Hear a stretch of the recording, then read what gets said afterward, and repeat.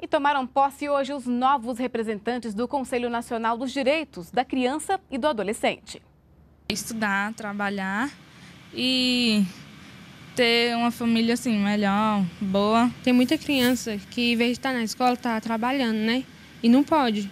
Sim, toda criança e adolescente tem direito à educação, saúde, cultura, à convivência em família, à prática de esportes, ao lazer. Mas nem sempre esses direitos que estão na Constituição e no Estatuto da Criança e do Adolescente são respeitados. Um dos instrumentos para garantir que eles não fiquem só no papel é o CONANDA, o Conselho Nacional dos Direitos da Criança e do Adolescente.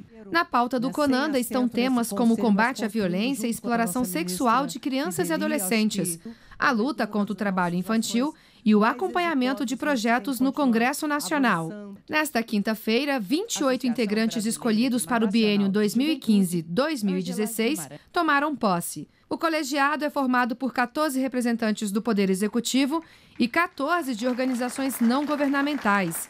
Entre os desafios para este ano está o enfrentamento da violência contra jovens. A violência contra os jovens ela é assustadora.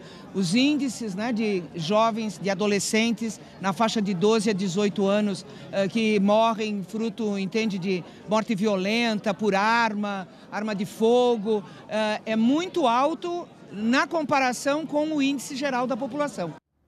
Para fazer denúncias de casos de violência contra crianças e adolescentes, basta ligar no, para o Disque 100. A ligação é gratuita e o serviço funciona 24 horas por dia.